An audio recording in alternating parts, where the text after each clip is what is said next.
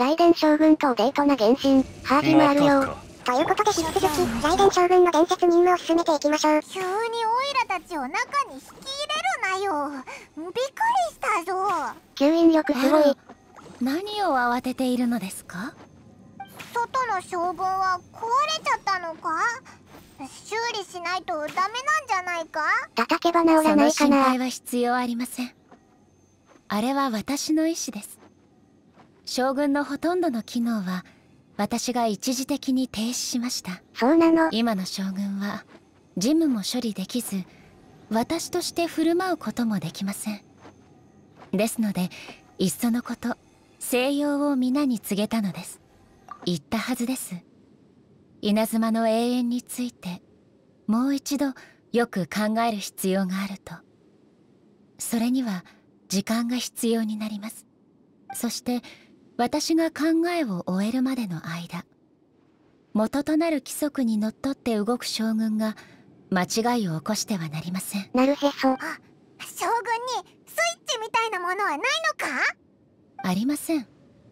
想像した時は停止することを考慮していませんでしたので。非常事態スイッチは大事だルルを当時の私は未来の私が将軍の運行規則を変える可能性があると考えた上にそのようなことは永遠にふさわしくないと思ったのです。若さゆえの過ち。そのため予期せぬ事態に対する保険として将軍は規則修正に対して非常に完璧な防御機能を備えています。すっごい。私にとって人形の規則を直接変えるよりも永遠の形についての考えが終わるまでいくつかの機能を一時的に停止する方が効率的なんですそういうことか。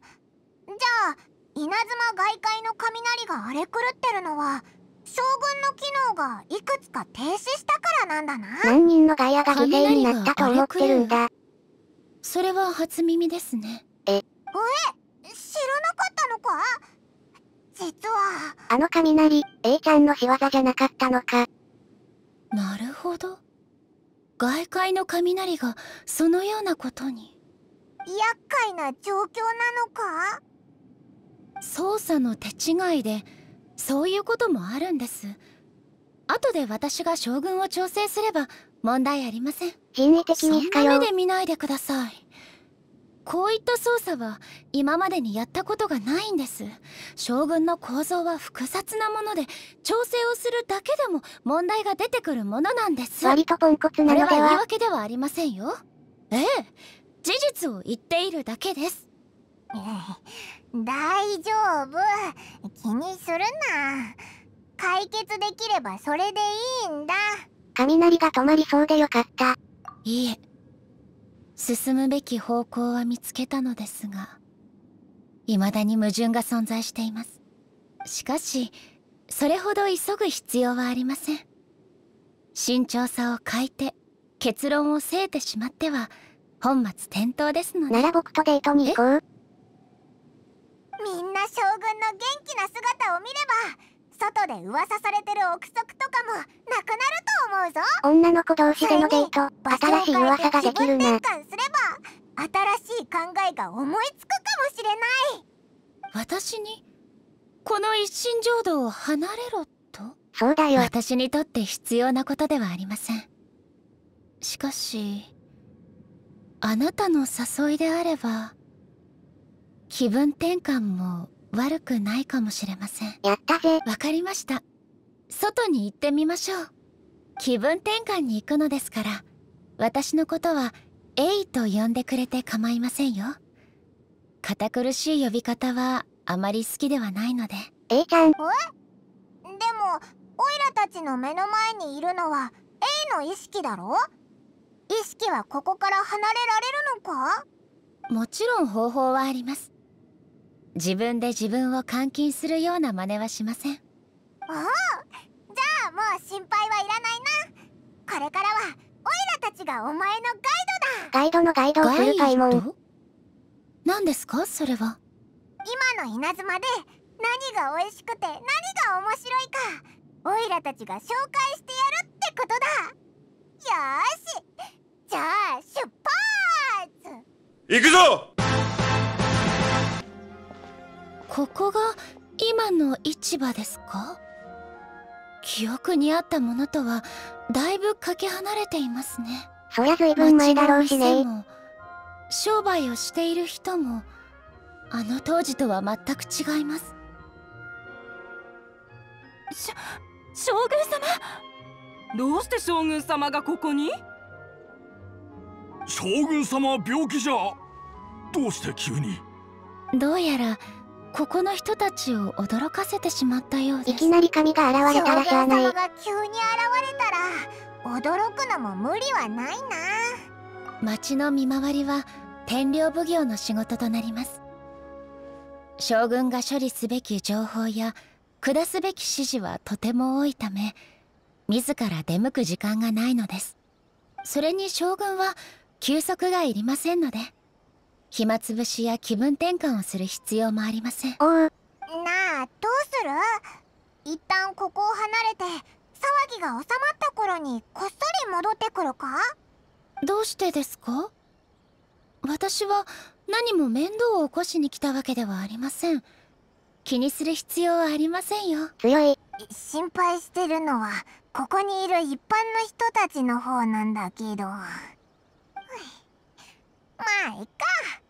そういうのもお前らしいもんな。デートの始まりだ。今も民たちは交渉にモラを使っているんですよね。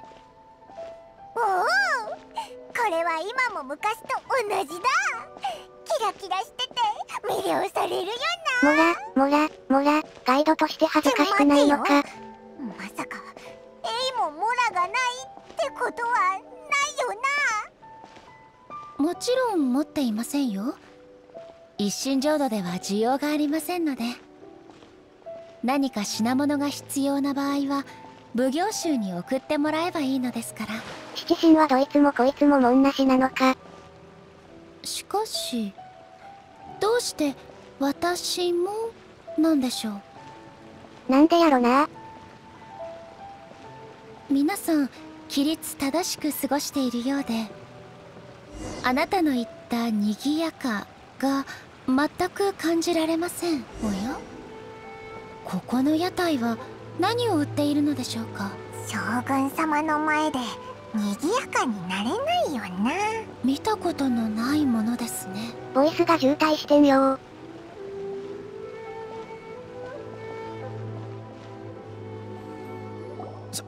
将軍様これは失礼いたしました。控えおろう。いいえ。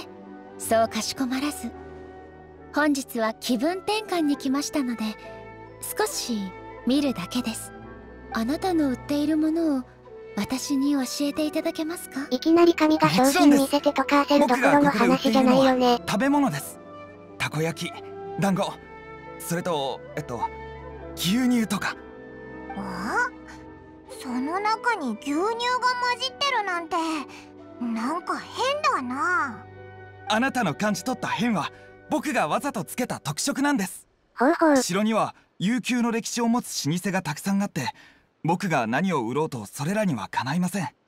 ですので僕は目新しい組み合わせを作りお客さんに新鮮な体験をしてもらおうと決めたんです。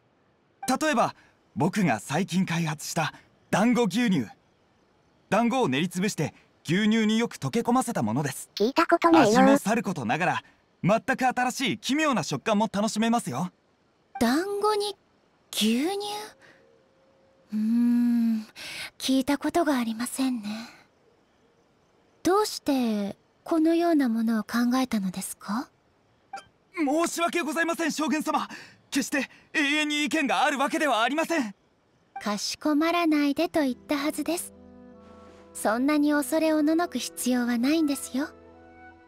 私の追い求める永遠が団子と牛乳によって揺るがされるものではないでしょ本当。あれなんだか噂に聞いた将軍様と少し違うような。実は僕も思いついたのは偶然でした。ある日友達がお客さんのおもてなしをする際団子を作りすぎてしまったらしく食べきれないからと僕にくれたんですしかし僕にとってもその量は多く。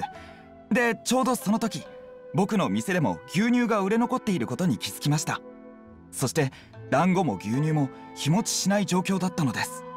そこで試しに2つのものを混ぜてみたところちょうどいい塩梅で混ぜることで意外にも美味しいことが分かりまして。日本の料理って結構どうやって思いついたんだってのが結構あるよね。面白いですね。私にも一杯いただけますか？将軍様にご興味を持っていただけるなんて。はいもちろんです。あなた方も一杯どうぞ。A ちゃんが団子牛乳に負けるわけないだろ。甘くて美味しいです。それともっちりとした食感も不思議な飲み心地ですね。そうだな。飲み物は飲んでるのになんか食べてる感じだ。シェイクみたいなイメージかな。みたいな？全く同じとは言えませんがどうであれ好みの味です。ありがとうございます。神認定。こんなに美味しい団子牛乳。さぞ売れ行きもいいのでしょう？いえその実は売り上げは全然。悲しいな。よくないんですか？どうして？その実際に飲んでくれた人の評価は結構いいんですがほとんどの人がこの組み合わせをおかしいと思っているようで口にすらしてくれないのです。ご当地奇抜メニューに手を出しづらいのわかる。の感覚がおかしいということではないです。お気を悪くしないでください。そうでしたか。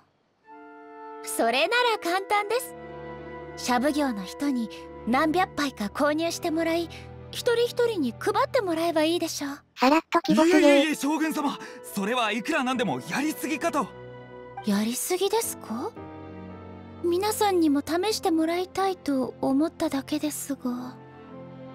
団子牛乳を飲んだことがないというのは非常にもったいないことかと。稲妻の歴史に団子牛乳が乗っちゃう。いいえ。結構ですそこまで夢中になっているわけではありません。誘惑に勝った？やはり甘味は気分を良くしてくれますね。一人で考え込んでいた時よりだいぶ気分が良くなりました。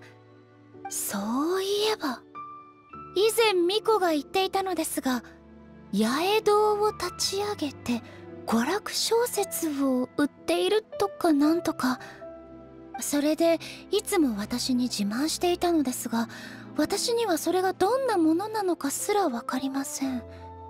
ちょうどいい機会ですので私をそこへ連れて行ってくれませんか？ナローデビュー A ちゃん。いろんなものを見て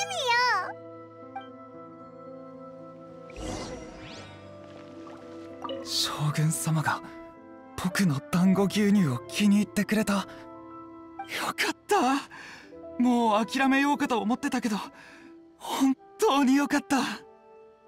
これ絶対後で団子牛乳流行るよね。ということで今回はここまでです。動画更新や自作エロゲのお知らせ等は Twitter でしてるので感想やフォロー。動画のいいねと高評価も押してもらえると嬉しいです。あと今回のサムネは大天使花うなさんにお借りしました。ありがとうございます。ではまた見てくださいね。チェチェチェチェチェチチチチチチ